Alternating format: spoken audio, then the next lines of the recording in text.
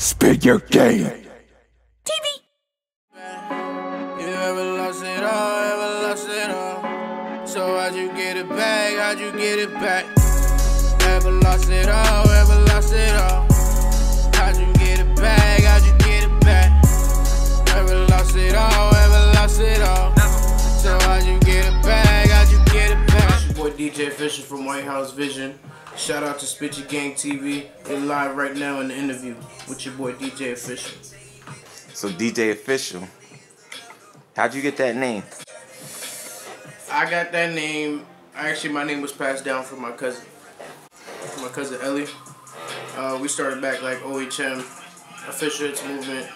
Um, after we ended up stopping that whole movement, we ended up like splitting, and everybody started doing their own thing. Like some people went to school, went to college to go finish shit. You know what I'm saying? And my cousin basically passed down the name to me, and I've been holding it ever since. So basically. Yeah, that's how I really got my name is from my cousin. Okay. So you was never like a DJ? I actually, that's how I started. I used to, I learned from him too. I used to DJ house parties, a lot of house parties, and that's how I really had my name buzzing. Then I ended up getting in more into the music of making it, as in like recording it, all that, chopping it up. I started getting more into music, and then I kind of like put the DJ to the side. But then I kind of just like started back up again and like morphing all my talent together now, pretty much. So what made you wanted to start getting more into making music? Just the feel of it, like just seeing. I don't know. It just makes me feel better. It's like expressing myself. Just like I was DJing, that was more of my turn up days when I used to like drink a lot and all that. But now it's just like more of me, it, like more of it being a stress reliever for me. Like my place of my place of peace.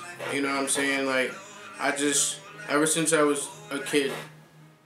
Like when I first got the Get Rich or Die Trying album, when I was younger, that's when I really wanted to fucking do music. I'm not even gonna hold you. So is that one of your favorite rappers, 50? Yeah. 50 one of my favorite rappers. I'm not gonna hold you. I was watching a um, documentary with you like a little while ago. Um, it was Sorry for the Hooks. He was doing like a documentary for it. Yeah. Yeah, and they were saying how you was real good with the hooks. How'd you how'd you end up good with the hooks? I honestly started I was I was in a building with a lot of different artists. Like I used to go to studios with different artists and shit. And I never really used to do music. I used to just observe and observe how everybody do they do their own thing. And I just kind of started doing it on my own, like by myself, not telling nobody. Then one day, I just didn't care, and I just wanted to keep, keep on pursuing and pursuing it. And the people around me kept pushing me, saying that yo, you could do better. You know what I'm saying? So I just kept pushing myself. I took criticism to the full extent, even if it was good or bad. You know what I'm saying? Like even if it's bad, I go. You know what I'm saying? I'm not gonna sit here and whine about it. I'm just gonna go and go go fuck shit up. That's it. So who are some of those people that really pushed you to do better? The first nigga who really pushed me is my nigga Luke Wolf. That's my brother. That's my brother. He really, it, it was really him. Because we continued after the Official Hits movement. Like, he really, he really pushed me into doing a lot more things. And then I started, like, expanding, you know what I'm saying? Started finding myself and where, you know what I'm saying, where my sound is and what I could do, you know what I'm saying? Touching whatever I can, you know what I'm saying? I'm not trying to be like a rapper. I'm trying to be an artist where I can hit any kind of beat that I want or any kind of genre. Like he really pushed me into doing that shit. Okay, so you say he pushed you like how?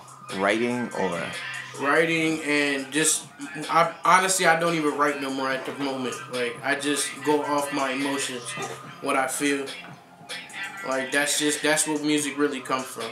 You really don't need to write your music. If you feel what you feel, you don't really need to write it down. so you just do it I think the that that's the best kind of music. you just go off the top of your head when you get inside the booth? Pretty much, I just fucking smoke my L's and I just listen to the beat over and over until something comes to me. Okay. And how long you been doing music for?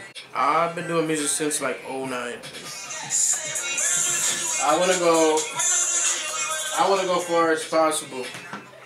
I want to go far as possible. I want to make it to the point where my mom has a house. Even though I'm not with my son's mother, she has a house and my son has a house. You know what I'm saying? Like, that's just that's just pretty much my goal.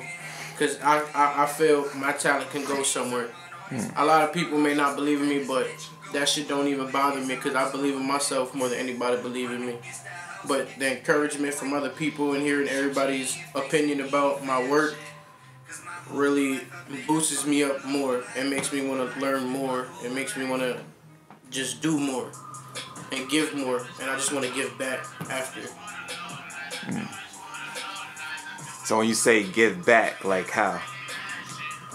I want to give back to the community, my community. You know, build a playground or something. You know what I'm saying for the kids after school program. You know, it's it's it's it's more for our future. Okay. So you got White House Vision. How did you come up with that? Um, actually, it was me, my boy Ace, who recently just came home from doing five years, and his brother AG. Once he came home, we sat and discussed about like, you know, getting shit legit, getting shit copywritten and all that shit for the name. And basically, that's we sat down we discussed it, and then we came up with White House Vision. Like it's more of it's it's not it's an entertainment group, but to me it's more than just music and all that shit. It's more of people I grew up with in the neighborhood that try to make a change in their life. and I'm there one hundred percent to try and keep them out of trouble. You know what I'm saying? That's just always been the kind of person I was. So how'd you come up with the, the name though? Like why why the White House? Yeah, we sat we sat down for a grip, honestly, in the group, just trying to like put words together. And then we ended up getting white, and then like White House, and then we put White House Vision all together. Okay. Like it wasn't like it was more of because of a block that were from uh, people are from buyers. If you know where the White House is, everybody knows where the White House is. Yeah. That's where niggas. That's where niggas used to trap out of. You know what I'm saying? Like, not me personally, but niggas I grew up with. You know what I'm saying? The niggas I grew up with never liked me in the streets, so they always pushed me to do something better. But now I'm trying to give back to them for doing that shit for me. Okay, so the name kind of came. The name came more because of a, a black thing. Okay. You know what I'm saying? It's more of a family. So you um you recently did a party. It was called Lean on Me as a show. How was that like? The Lean on Me party. That is my people from New West Haven. J.I. Watson and Prince City 203. F and Rich, you know what I'm saying? Them are the people that you want to be in contact with. Because this is my second my, my second party I did that I performed that and it was a success. It was turned. It's private event, you know what I'm saying? We we're we're planning on doing part three in Mass. We're just looking for a venue where it could be a private event, you know what I'm saying?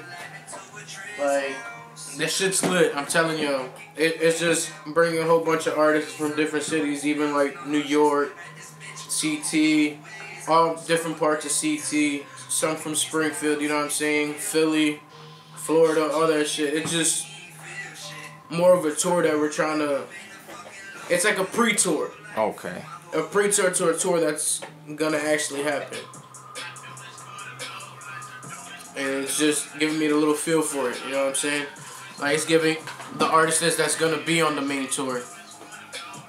Cause they're planning on doing a Lean on Me tour. These are just the parties that we're just building up. You know what I'm saying? The fans, you know, interacting with everybody. So when the tour actually comes, you know what I'm saying? Shit's gonna be really fucking lit. There'll be merchandise. And All the artists you really fuck with from Springfield will be there. You know what I'm saying? I'm trying to get anybody from Springfield to be a part of this shit. Alright, so when I have the Lean On Me party out here, I just want to see the talent that I have in Springfield and see who could we bring with us. Because it's the tour that the F and Rich Records are putting together. Okay, who's on F and Rich Records? It's gonna be uh, it's J.I. Watson and Prince City 203, and they have a whole bunch of other artists under them as well. But I can't really name all of them. But they're all they're I've, I've been I've been knowing J.I. since like 2014. I know since like the beginning, the end of 2013 till now. So we've always kept in contact since the first day we met. It was just like cool. I was shooting I was shooting the video, and he was actually acting in the video. Okay. What video was that? It was a Drew Pop video. Actually, Coke Boy Drew Pop. It's uh was with Drew Pop and Stephen A. It should it should it should be on YouTube. I think it was it was Trap something. I don't know. It was it was a while ago, but I know it's on my YouTube somewhere. Okay. All you gotta do is type in Stephen A. and Drew Pop. So now you shoot videos for other artists. I used to. I I'm pretty I pretty much do everything, but that's just started getting too hectic for me. Like doing everything, like doing the videos, from mixing down the songs to doing the mixtape covers, like doing all that. So I've been trying to find individuals who are willing to like just build, you know what I'm saying, and just like work with the vision, you know what I'm saying. If you see the vision, we all we, we all going. With. Okay, so you're looking for artists to sign? Pretty much. Uh, more of the younger, more of the younger crowd. Okay. And just any probably any artist is that's that's just really talented. I just look, but I haven't chosen anybody like recently. Hmm. How can people get in contact you? They want to be part of the label. They can contact me on Facebook. Um, my my main Facebook is Salvador Perez, but if y'all want to go to the White House Vision page on Facebook, um, you can follow me on Instagram at DJ Official 413. Same with the Twitter, and same with the um, Snapchat. All that. All DJ Official 413. Who would you say is like the dopest rapper part of your group? The dopest rapper I have to say is Ace. He he did five years. I don't know if I I, I don't I, I can't personally say how it feels to be in five years in prison and shit, but when he came home, he came home he, he came home with with something to say. Like and ever since we fucking linked, this nigga just been, been he speak the real. He speak the real. I know this personally, cause I grew up with him. He speak nothing but the real. You know, None of that fake shit. So I gotta say he's one he's one of the hottest artists. Okay. Who would be your top five of like all time? Like local wise or industry? Like just anybody. It could be local, it could be industry. Well, I fuck with Belly. A lot of people don't know who Belly is, but that's one of my that's my number one. He's one of my favorite rappers.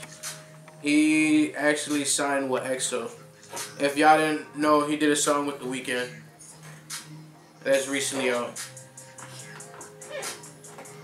That's one of my. He's my first. I really don't have any other favorites.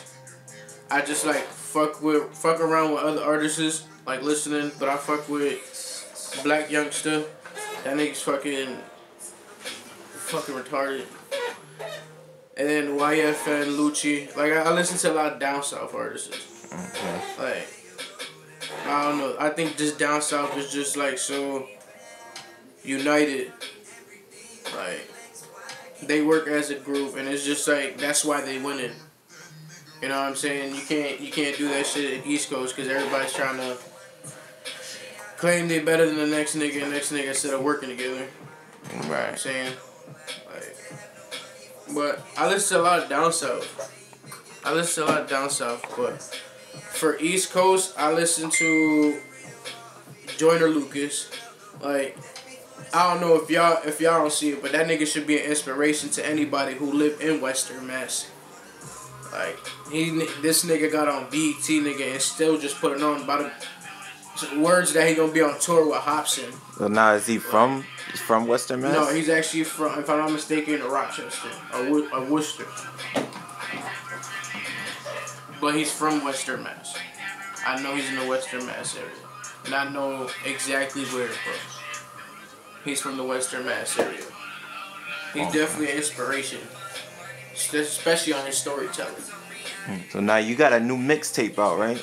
Yeah, Um, sorry for the hooks. Yeah. How'd you come up with that?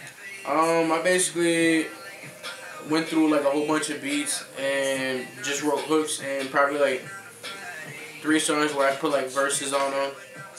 But yeah, it was just more of the concept of me doing all the hooks and shit and all local artists that I chose to kill it and shit. It it was a pretty well put tape. Oh bullshit. Right, who was on that tape? Um, I had Suge, I had Delta, I had Kato, I had KT, A Star, Spit Flames, Golden Childs. Um, it's been a little bit, but yeah, yeah, y'all can go see it. Y'all can see it on SoundCloud. Now I seen a um a video with y'all um you had to join my city. Yeah. How'd y'all come up with that concept? Um, we basically, I didn't really come up with the concept. I was just there to just do my thing. But the concept was basically put together by like Kato and um Spit Flames. Oh, okay. So I was just going with what they was telling me. You know what I'm saying? Okay, so they came up with the concept, but you wrote your own Yeah. your own part. Yeah. All right. The my well, the my city John is just, you know what I'm saying. I had, I had Kato on it. I had Luke. I had KT on it. You know what I'm saying? It was just, that was a vicious track. I'm not even gonna say it was. It was really vicious. What would you say is your hottest track out that you got right now? Uh, I haven't really dropped anything lately because I'm working on a tape myself. But a lot of people gave me good feedback on my the song "My Son." What's that about? Um, it, it's basically about a situation that happened. You know what I'm saying? Like, I don't want to get into that part, but Okay. you know what I'm saying. But it was it was just a little situation that happened. But ever since then, like things got better and shit. You know what I'm saying? For all the dads out there, keep fighting for your kids. You know what I'm saying? Don't be no deadbeat. Okay. So you got a um son. How old your son? Um, he's about to be one. You spend a lot of time with him. Um, from I work a lot, so I really don't get to be with him that much. But I get him like probably once or twice out of the week. You know what I'm saying? Yeah.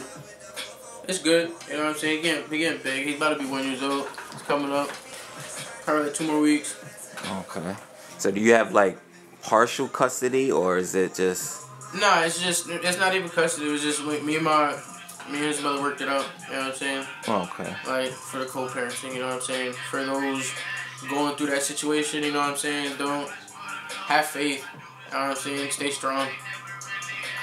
Work things out. Kids What- are the future. They need both parents. Hmm. That's a good question. I guess maybe I, I do without really thinking about it. I guess uh, being from the Bronx is a lot of pressure. Um, for two reasons, I feel like one because this is where hip hop started, so you got to represent, you know, from the from the motherland of hip hop, and two because I feel like the Bronx kind of got like snubbed a lot of times, like you know, we kind of like people lost faith in the Bronx, or maybe they just wasn't giving no love to the Bronx, no shine to the Bronx, and there's a lot of really talented artists in the Bronx, and I feel like maybe now we we kind of get in that that uh, reputation back again, but